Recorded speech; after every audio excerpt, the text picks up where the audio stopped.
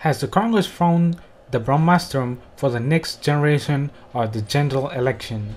Perhaps it has. If one goes by the reports that the Congress is in touch with a big data firm, Cambridge Analytica, that helped US President Donald Trump win last year. So looks like PM Narendra Modi will be dethroned and Rahul Gandhi will become the next PM for the India. Cambridge Analytica, the analysis internet data of consumers, a trial of choice they leave online on search engines, email and shopping websites to profile them so that the political leaders can craft appropriate messaging that target specific groups or the communities of the voters in specific places. When the news broke during the last Lok Sabha election campaign that the Bharatiya Janata Party or the BJP was targeting the social media profiles, many political pundits had made light of the issue, assuming that India's largely rural voters were immune to such new fragile tactics. But the stunning victory of the BJP of India confirmed that the internet played a great role in identifying voters group and then targeting them with specific messages. The BJP and the Prime Minister of India, Mr. Narendra Modi, are known for the Garantuan social media campaign. The old strategies and the tactics of the opposition are seen to be ineffective in the face of smart online campaigns. According to a media report, the Cambridge Analytica CEO Alexander Nix has made several opposition leaders to design the electoral strategy for the United Progress Alliance or the UPA in the next Lok Sabha elections. The company has made a presentation to the Congress in which it detailed their strategies to target the voters online. After the Trump's victory and the reports that the Cambridge Analytica also influenced the Brexit vote, several political parties all over the world are in touch with the company. The impression is if Trump, who was initially dismissed as a favorable candidate, could win by the targeting the right voter segment with the right messages, so can the others. Trump's wooing of Hindu immigrants, even though he had adopted the tough stand against foreign workers, is said to be based on a big data suggesting Hindu voters could swing results in key states. Based on the brainstorming sessions, Cambridge Analytica CEO Alexander Nix rolled out a series of suggestions. Trump owing Indian voters with an advertisement in Hindi, his daughter-in-law Lara Yanaska Trump is celebrating Diwali at the Hindu temple in the key swing state of Virginia, and the Trump saying the Indian and the Hindu community will have a true friend in the White House. Prime Minister Narendra Modi of India smartly designed an online campaign have been unbeatable so far. The BJP's unabated winning spear after the last Lok Sabha election has rattled the opposition and confused the political pundits. PM Modi's messaging and the BJP chief Amit Shah's electoral engineering are seen to be based on the shrewd analysis of the voters' inspiration or the aspirations. So far, the opposition parties have been out of the sync with emerging trends, but with the Cambridge Analytica by their side, they might or they will be hoping to counter PM Modi. Will Rahul Gandhi become a Donald Trump of India by defeating Narendra Modi of India? Well, set to see in coming years or the next year. थोड़ा सा मैं आज आपको BJP और कांग्रेस के काम करने के तरीके में जो फ़र्क है, उसके बारे में थोड़ा सा आज कहना चाहता हूँ। किसी भी, किसी की भी आपको मदद करनी हो कभी। तो पहला काम क्या करना पड़ता है? હા તમને ફોન કરતો લાઈવ જો જોઈ લો उसकी बात सुननी पड़ती है આપણો उसके दिल में जो है ચકા ચકા આવે છે ને બસ એ वो તમને जो कहना चाहता है सबसे पहले आपको वो सुनना पड़ेगा સેન્ટર सही बात है પછી ना પેલા કપાઈ જાય सही बात है ना बिना सुने હા કાઢો છે अगर आप किसी की मदद करना चाहते हो और आप उसकी बात सुनने को ही तैयार नहीं हो तो शुरुआत ही नहीं हो सकती सबसे बड़ा फर्क ये है कांग्रेस पार्टी का पहला काम जो भी आए चाहे वो मजदूर हो किसान हो हाँ बोलो। बड़े से बड़ा बिजनेसमैन हो कोई भी हो कांग्रेस पार्टी का पहला काम भैया बैठो बताओ दिल में क्या है क्या कहना चाहते हो? और हम फिर चुप हो जाते हैं और सुनते हैं। विकास का कोई भी काम करना हो किसी भी प्रदेश में प्रगति लानी हो सुनने के बिना नहीं किया जा सकता है। आप इस बात को मानते हो नहीं? 22 साल से 22 साल से गुजरात में हाँ। गुजरात के दिल में जो आवाज़ है किसान जो कहना चाहते हैं मजदूर जो कहना चाहते हैं महिलाएँ जो कहना चाहती हैं, छोटे दुकानदार जो कहना चाहते हैं, उसको कोई नहीं सुन रहा है। और मैं समझता हूँ आपका जो दर्द है। बाईस साल से आप अपनी सरकार से कहना चाहते हो, और 22 साल से आपकी कोई नहीं सुन रहा है। तो पहला सबसे बड़ा फ़र्क सुनने का है। मैं दो तीन उदाहरण आपको देता हूँ। जीएसटी की सोच, कांग्रेस पार्टी की सोच थी हमें लगा था कि पूरे हिंदुस्तान में एक टैक्स होना चाहिए। अलग अलग अलग अलग टैक्स हैं। Service tax octroi income tax अलग अलग अलग अलग टैक्स हमें लगा कि टैक्स का जो सिस्टम है, उसको थोड़ा आसान बनाया जाए। हम आपके पास आए। और आपसे हमने पूछा, बताइए, क्या होना चाहिए? और आपने हमें दो तीन चीज़ें कही।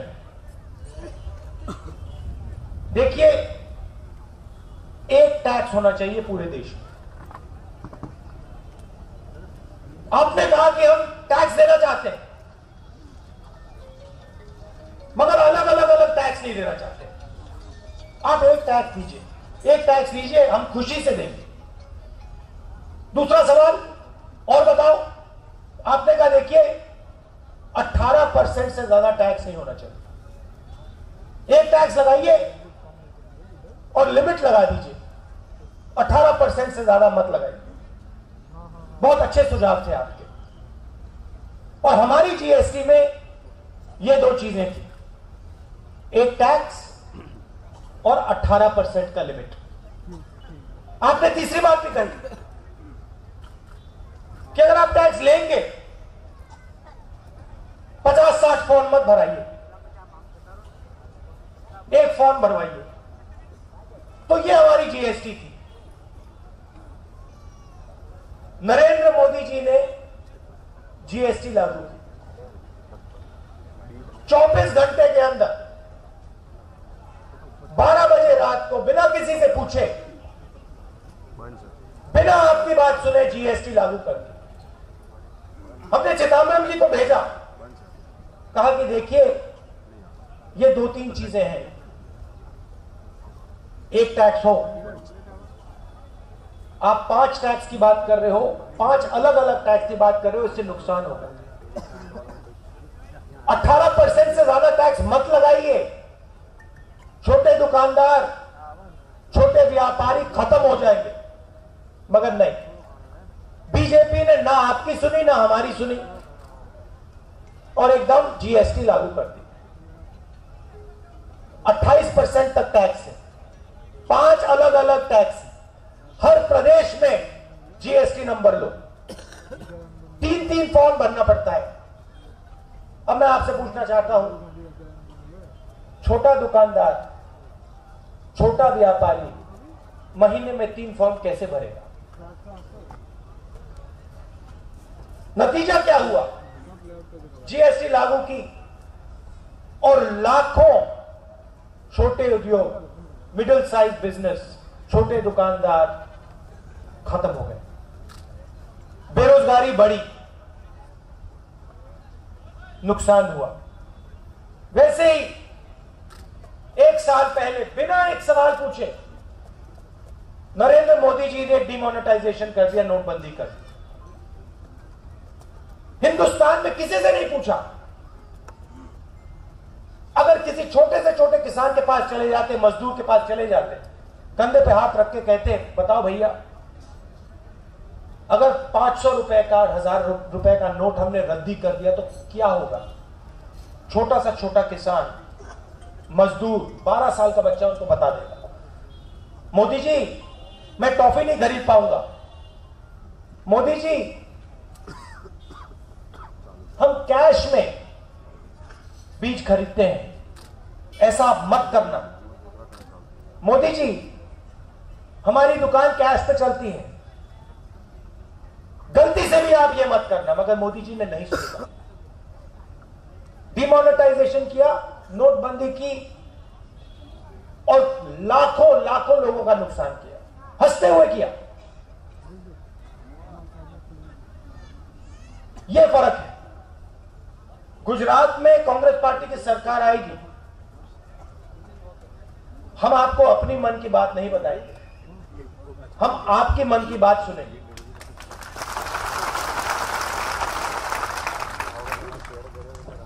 छोटे दुकानदार की, किसानों की, मजदूरों की, पिछड़ों की, दलितों की, आदिवासियों की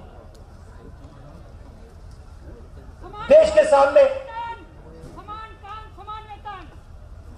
देश के सामने सबसे बड़ी चुनौती रोज़गार की है। दो तीन आंकड़े मैं आपको देना चाहता हूँ। हर 24 घंटे, हर 24 घंटे तीस हज़ार नए युवा हिंदुस्तान में रोज़गार ढूँढने निकलते बेरोजगार लोगों की सेना बन रही है। तीस हज़ार में से 24 घंटे में मोदी जी की सरकार सर उनके वो 450 युवाओं को रोज़गार देती है। मुकाबला चीन से है।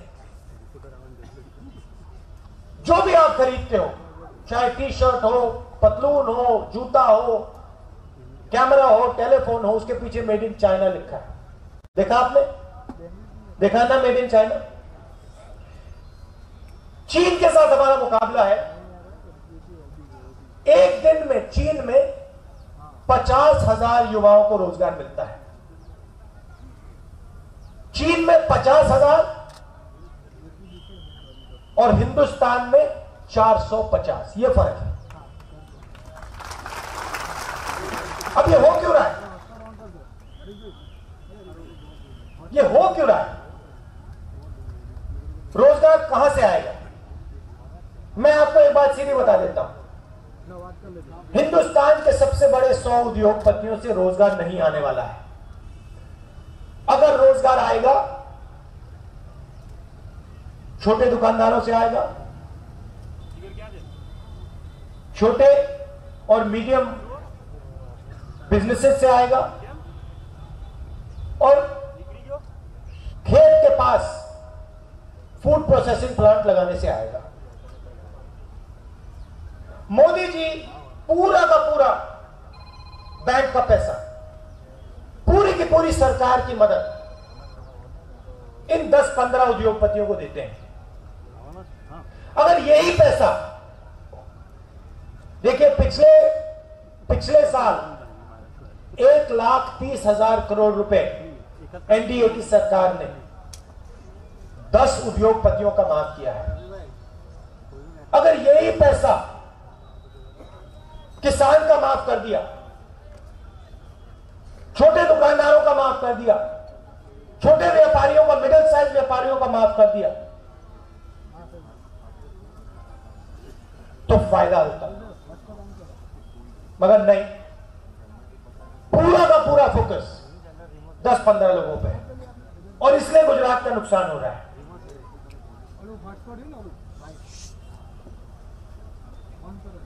किसान रो रहा है, आत्महत्या कर रहा है, पूरे देश में किसान आत्महत्या कर रहा है। जब भी चाहते हैं, आपसे ज़मीन छीन लेते हैं। दो मिनट का काम अभी मुझे यहाँ दिखाया। गाँव से ज़मीन छीन ली दो मिनट का काम है कुछ साल पहले भट्टा परसौल में उत्तर प्रदेश में आवाज़ उठी थी किसानों से वहाँ ज़मीन छीनी जा रही थी। हम उनके लिए लड़े और देश में ज़मीन अधिकरण बिल लाए। गुजरात में उसका आपको फ़ायदा नहीं मिलता है। मगर बाकी हिंदुस्तान में किसान से बिना पूछे ज़मीन नहीं ली जा सकती है। मैं आपको एक और बात बता देता हूँ। अगर किसी भी किसान से ज़मीन छीनी जाए तो मार्केट रेट से चार गुना ज़्यादा पैसा उसको देना ही पड़ता है। यह कांग्रेस पार्टी का काम। मोदी जी ने इस बिल को पार्लियामेंट हाउस में रद्द करने की कोशिश की। तीन बार उसको खत्म करने की कोशिश की। हम लड़े उनसे। पता लगा कि लोकसभा में कांग्रेस पार्टी हटने वाली नहीं है तो यहाँ अपने चीफ मिनिस्टर से कहा, देखो, पार्लियामेंट हाउस में नहीं कर पाए। गुजरात में तुम अंदर से बिल को बदल दो, खत्म कर दो, रद्द कर दो।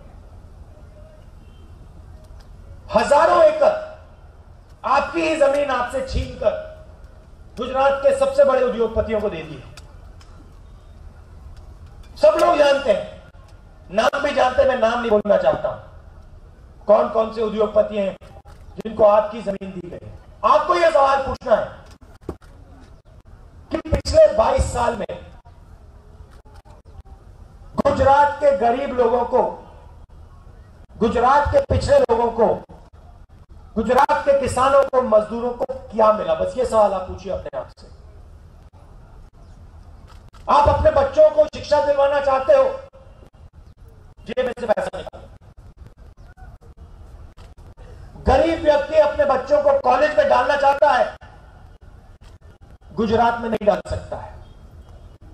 कोई बीमार होता है प्राइवेट अस्पताल में जाओ। अगर आपके जेब में पैसा नहीं है तो उसके दरवाजे आपके लिए बंद है। कैंसर है तो मर जाओ। दिल का दिल का दौरा पड़ा है तो मर जाओ। कोई और बीमारी है तो मर जाओ। अगर पैसा है तो शिक्षा मिलेगी। पैसा है तो स्वास्थ्य मिलेगा। पैसा है तो ज़मीन मिलेगी। पैसा नहीं है तो जा बाहर खत्म कर दो।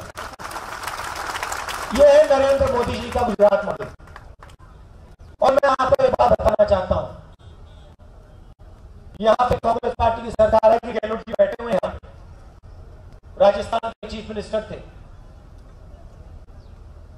पूरे राजस्थान में मुफ़्त में दवा करवाई है इन्होंने। अस्पताल के दरवाजे कांग्रेस पार्टी ने राजस्थान के गरीब से गरीब परिवार के लिए खोले और यही काम हम यहाँ पे करेंगे। कांग्रेस पार्टी आएगी। कांग्रेस पार्टी आएगी तो यहाँ पे 10-15 सबसे बड़े बिजनेसमैन की उद्योगपतियों की सरकार भी चलेगी। यहाँ पे आपकी सरकार चलेगी और जो भी हम करेंगे छोटा सा छोटा काम पहले हम आपसे पूछ के करेंगे क्योंकि हम ये जानते हैं कि प्रदेश को चलाना, किसान का काम, मजदूर का काम बिज़नेस चलाने का काम आप लोग जानते हो। और हम आपसे पूछ कर काम करेंगे, ये फ़र्क है हम में। गुजरात में बदलाव आ रहा है। ये पूरे देश को मालूम है। ये नरेंद्र मोदी जी को भी मालूम है। पता है गुजरात को मालूम है कि जो गुजरात मॉडल। है नरेंद्र मोदी जी का गुजरात मॉडल है। वो फेल गुजरात को मालूम। है और गुजरात को एक और बात भी मालूम है कि सालों पहले एक दूसरा गुजरात मॉडल हुआ करता था।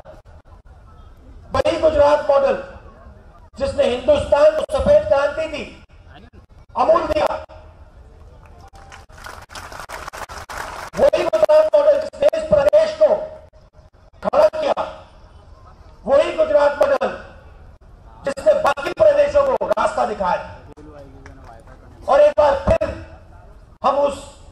गुजरात मॉडल को चालू करेंगे। किसानों का मॉडल, गरीबों का मॉडल, मजदूरों का मॉडल।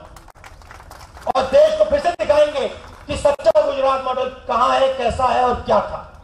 आप सबका दिल से बहुत बहुत धन्यवाद। नमस्कार। जय हिंद। अच्छा भाई एक बहुत और बताइए। गुजरात में विकास को क्या हुआ?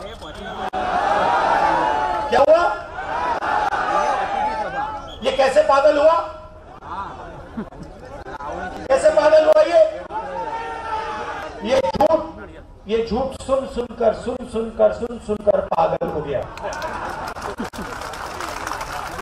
आप सबका बहुत बहुत धन्यवाद। नमस्कार जय हिंद। राहुल जी! राहुल जी! राहुल जी! कांग्रेस!